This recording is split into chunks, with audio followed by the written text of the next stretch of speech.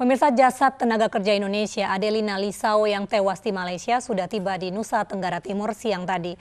Jasad Adelina langsung dipulang ke, ke kampung halaman korban di Desa Abi untuk dimakamkan. Isak tangis keluarga histeris saat melihat jenazah Adelina tiba.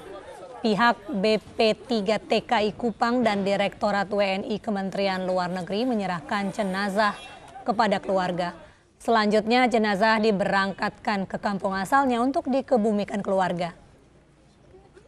Adelina adalah TKI asal Desa Abi, Kecamatan Oenino, Kabupaten Timur Tengah Selatan NTT.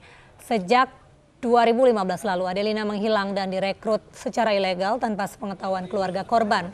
Korban tewas di Malaysia diduga akibat penganiayaan dan penyiksaan dari majikannya. É melhor vai.